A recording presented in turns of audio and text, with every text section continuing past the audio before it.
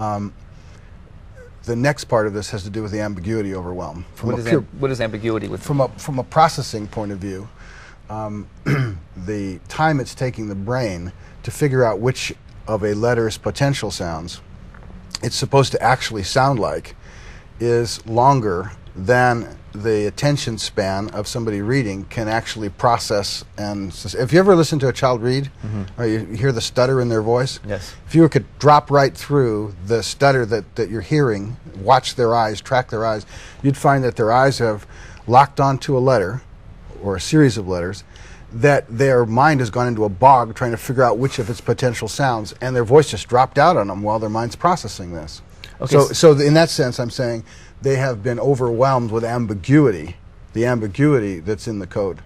Okay.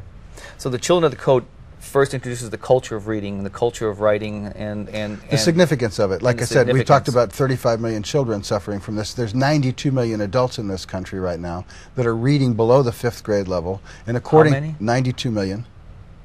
And according to the uh, national center for learning disabilities it's costing those 92 million adults some 230 billion dollars a year in lost economic opportunity because they can't read Tell me about the neuroscience behind this uh, inability to decode at the adult level. Well, it's connected. Of course, as you get older, it's harder and harder to, to develop the brain. Well, the, the plasticity of the brain. I mean, there is, uh, th- the, again, processing this code is something that the brain's never had any evolutionary experience in doing. Mm-hmm.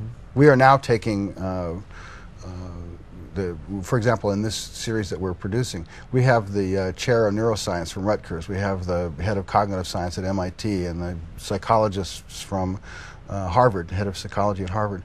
And we are z- zeroing in on just what's going on inside the brain. What are the circuits in the brain that are involved in reading and at different level, levels of reading. Right? And the timing, The of- timing of, is- the, of the brain development. Precisely. On the one hand, if you look at the um, time it takes for the brain to just recognize a letter, mm-hmm. for the, recognize the difference between an A or a B or a capital A and a lowercase a, t- watching the brain actually do this through MRI mm-hmm. scans, we can see that it takes almost a tenth of a second to make a distinction like mm-hmm. that, for to process the, the visual distinction of a letter and, and map it over to its corresponding sound even when it's not ambiguous. Right. It was just an A. It's just an A.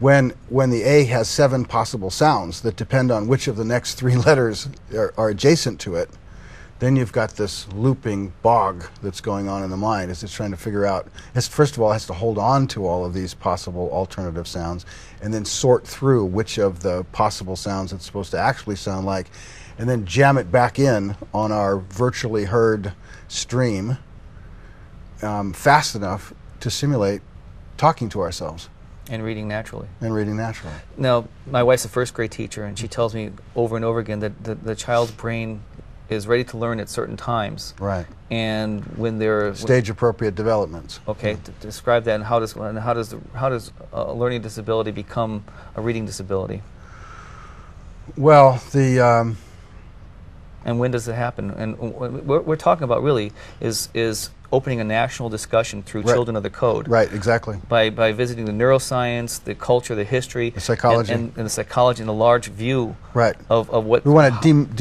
demythologize this whole writing and reading thing and take it, put it in its right historical context, and then get inside of our brains and understand what's going on with it. Break outside the box uh, of the way we've defined reading in the past. Okay, let's get back to that, that window when the child's brain is ready. Uh, uh, clearly, the adult brain becomes less plastic, but the child has a certain window of opportunity at different age levels.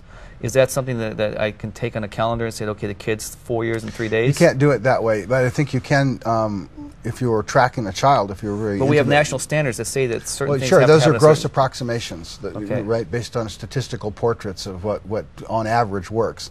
Uh, there's a difference between how I would, you know, try to suggest you do this at a national level of oversight from a research perspective versus if you were actually with a child, right? When you're with a child, the, the, the, key is to meet them right on the edge of their reading. Hmm? And it's, uh, what's appropriate for them is what they're able to actually handle on the very edge of their reading. And that comes down to, again, we go back to um, if you've watched a child read, struggle to read, then every time they come up on that edge where their voice is dropping out and their mind's busy spinning trying to figure things out, that's the great opportunity. But what goes wrong? What goes wrong is they learn to be ashamed of the fact that they're not doing it well. How does shame form in the process of learning? Shame's a natural response to anything that creates a kind of diminishment of, of their sense of expectation of self. So in this case, mm-hmm. um, they see people around them, their parents. Everybody says reading is so important, so critical. And they recognize as they read that they're constantly or frequently dropping out in okay. this ambiguity bog we were talking about. Like we were saying, the child's reading along, and then all of a sudden their voice drops out. They're not quite sure what to say. Mm. Okay. So the more that they experience that, they have to, they come to blame themselves for it. I mean, if you look at the 3,000 reports from the National Institute of Child Health and Human Development, it's very clear the first response that children have. First response. The first general psychological response that they have to reading difficulties is to blame themselves. They feel ashamed of themselves. How do they cope? Well, it depends on who they're with. There's no, you can't make it such a generalization. But unfortunately, the consequence of this is that in order to read well, the mind unconsciously has to convert these letters into sounds and put them back into the mind, so to speak, in this virtually heard stream, or speak them out as they're reading, right?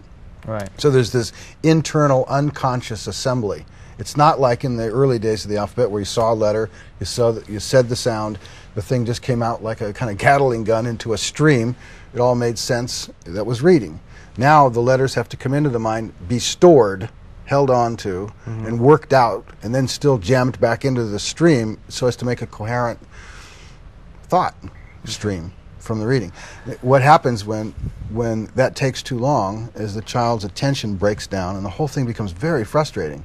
Now they start to blame themselves. Mm-hmm. Once they start to blame themselves, their mind is now fragmented. Instead of having uh, the attention, what's called the intentional resources or memory resources, to just be self transparently processing the code, they bec- their mind becomes bifurcated, and part of their mental energy is going into how they feel about themselves, the shame that they're feeling.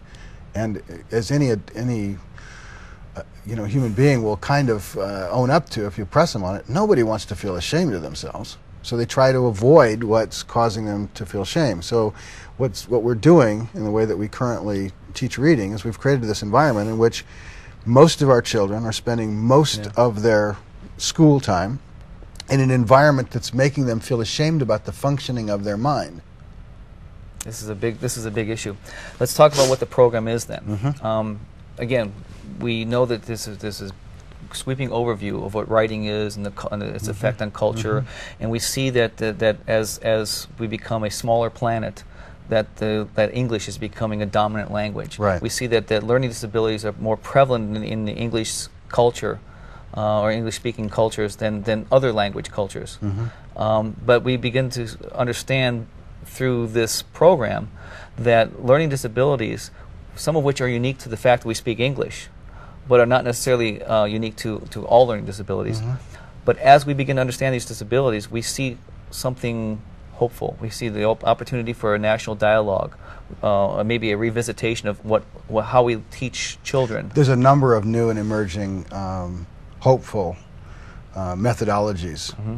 that are less um, trying to develop a right way. I, I, we don't have time now to track through the history of the reading wars and where they've taken us, but there has been a, a, a emergence in the cognitive science and the neurological sciences where we've started to understand what reading is in, in some new and powerful ways. It hasn't radiated out into the general public awareness, and that's a piece of what we're trying to do.